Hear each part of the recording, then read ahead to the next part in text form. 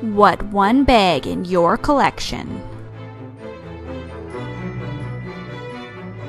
that if anyone stopped by and borrowed would make you go, I don't know who you are.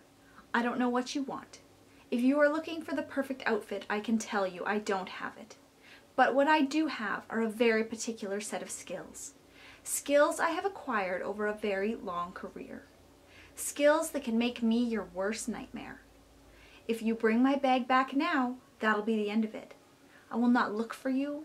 I will not pursue you. But if you don't, I will look for you.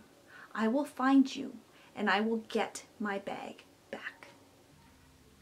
Let's be honest, I probably wouldn't allow anyone to borrow any of my bags, but the one that would positively make me go completely taken on someone would be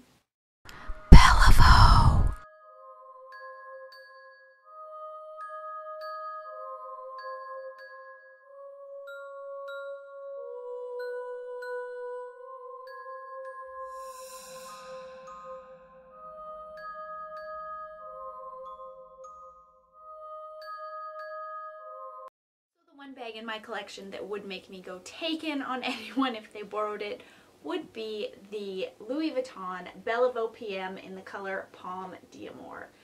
This bag is truly just a complete work of art. Uh, she is just, she's just completely gorgeous. I absolutely love this bag. She has a very special place in my heart as well as a very special place in my collection. And yeah, she is the bag that if I found out someone borrowed her would go completely taken on them until I got her back. So that is the Taken tag which was created by LaurelBelle here on YouTube.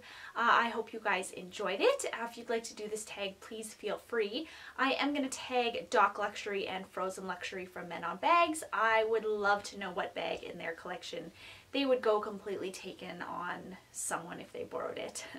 Uh, but anyways, you guys, thank you so much for watching and I'll see you in my next video. Bye!